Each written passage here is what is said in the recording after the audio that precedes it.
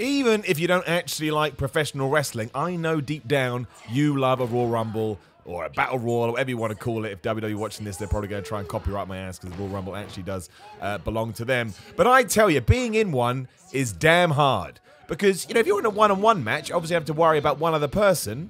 But when you're in a 30-man Battle Royal, Royal Rumble, you're going to worry about 29 other people. And you never know exactly what 29 other people are going to do. There I am, coming out of my Rumble. Look how greasy I am. Love getting greased up. What a moron. Uh, obviously, so when we were when we were kind of discussing what we should do, I was like, maybe I could just get in the ring and and spine buster and spear everyone. So there's my spine buster. And I didn't think anybody would actually agree to this, but everyone was like, "Yeah, man, I'll take a spear from you." So I just ran around and speared anyone. Like I couldn't be more Goldberg if I tried. But I'm going to tell you this: it gets a reaction, and I love working for EWE because they're just uh, they're just the, the crowd's great and everybody's awesome. Everybody's awesome. But yeah, like even if you do, my point being is it gives me real respect for WWE and all the all the wrestlers there because you know those the things they do are so intricate and so put together and there's a story to be told and I don't think they're massively fussed about the order all the time, but this year they definitely were in 2020 because there was a whole story about Brock Lesnar. So when you are in one of these, that was hilarious too, right? I don't want to break, you know, go too far behind the scenes, but some things make me laugh. I forgot it was a pin and submission Royal Rumble, so I tried to throw him out the ring. Also, don't know why I caught him like that, but I gave him the fall away slam. Probably could have chucked him a bit more. Uh, to be completely honest with you, I was a little bit sick this day. I wouldn't, I wouldn't say I had uh, the flu or anything like that, but I felt weak all the day. I'd gone to the gym earlier and I felt terrible. Just one of those days. I probably hadn't slept properly. And I come face to face with Arcadius here, who wasn't happy that I had fall away slammed that guy. Because look, apparently he wanted to fall away slam me. And I'll let you in on another little secret, because you never know. My landing there landed what I could consider to be fine, but you'll see me in a minute check it. My right shoulder just really started to hurt. And I think I tweaked my deltoid, because ever since then I've been making sure to ice it and rest it. And it's more or less fine but you have this awful moment. Well, I do because of what happened with my shoulder injury before. I was like, oh no, please tell me I haven't I haven't done anything bad, but I was okay. A lot of Royal Rumbles is stuff like this laying in the corner, and I'll let you in on that little duty there as well. That guy just kicked me right in the face. It really, really hurt, like genuinely. Uh, and uh, the cool thing about Rumbles when you do work for the same companies, this is uh, my man Jordan Saeed.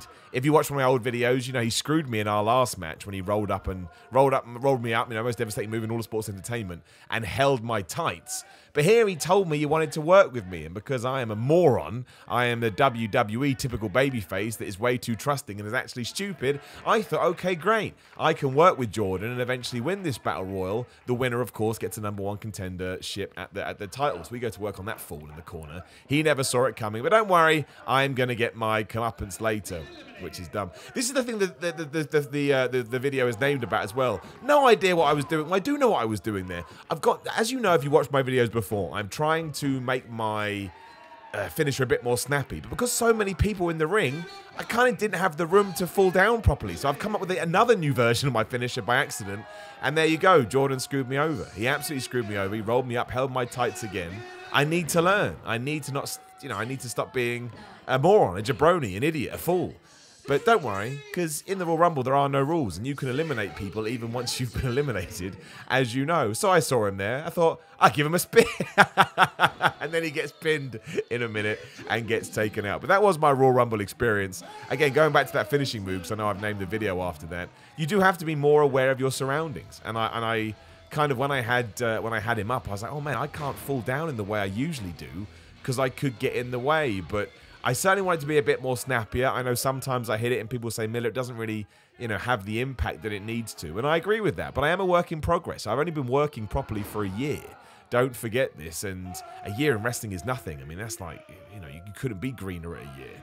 And the classic thing, there's the champion Bullet who uh, decided he wanted to choose his own his own number one contender. So he hits Arcadius in the head with the belt, and Raven gets the win. And that's the match that will be going down this Sunday, actually, if you're around in London, in Balham, South London, at the Bedford.